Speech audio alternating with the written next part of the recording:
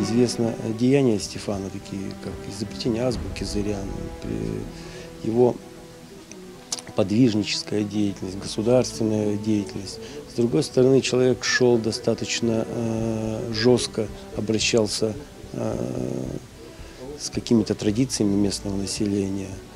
Это человек, который рубил там прокудливые березы, которым они молились, которые, безусловно, были важны. То есть в кадре оживает какое-то событие. То есть мы за основу, например, можем взять сцену из жития. Житийных икон, слава Богу, нам досталось определенное количество. И мы будем брать сцены из жития Стефана.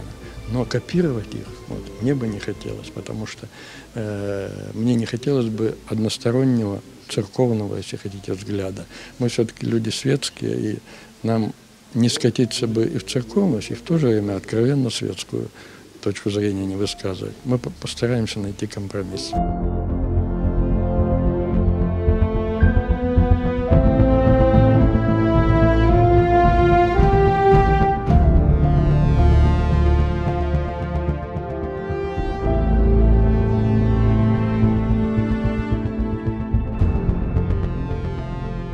Понравился колорит, который дает этот песок, я уже говорил, естественная э, сепия, природная сепия.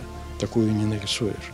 Сейчас мне показали картинки, картинки, которые э, ико, ико, иконописные, но цель у меня стоит другая, сделать их более жизненными, то есть взять э, то, что перенесено на каноны, и сделать из этого жизнь.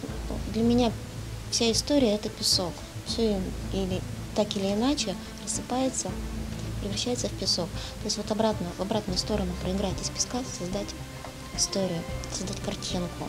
И так, чтобы эта картинка жила.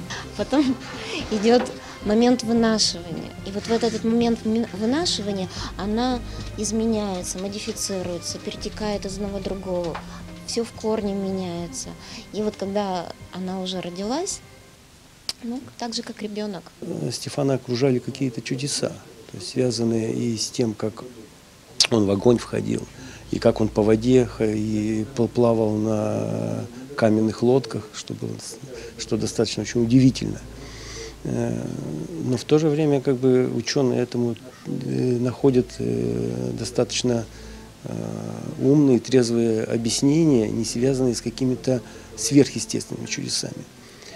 Но главное, что, на мой взгляд, и что мне показалось, что фигу... мы обязаны, как пермяки, фигуре Стефану Пермскому, так как он явил, явился таким государственным человеком, который, наверное, впервые связал Русь, Древнюю Русь, и территорию э, Западного Урала.